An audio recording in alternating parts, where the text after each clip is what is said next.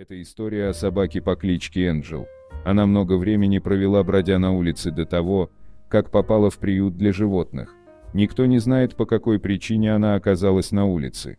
Сотрудники приюта оказали Энджел медицинскую помощь и откормили истощенную собаку. Когда собака была уже в полном порядке, Дейл нее нашли новых хозяев, и она отправилась в новую семью. Попав в новый дом, Энджел загрустила и на глазах начала увидать, вместо того, чтобы обживаться на новом месте и радоваться жизни.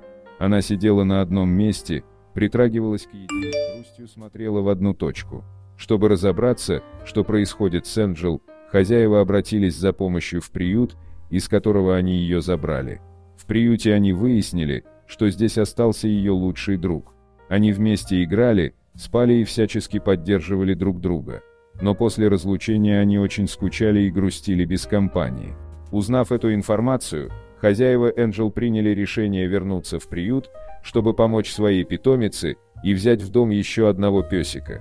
Домой они приехали уже с тем самым псом, за которым скучала Энджел. Собаки были невероятно счастливы встретиться. После этого они больше не грустили, и теперь в доме постоянно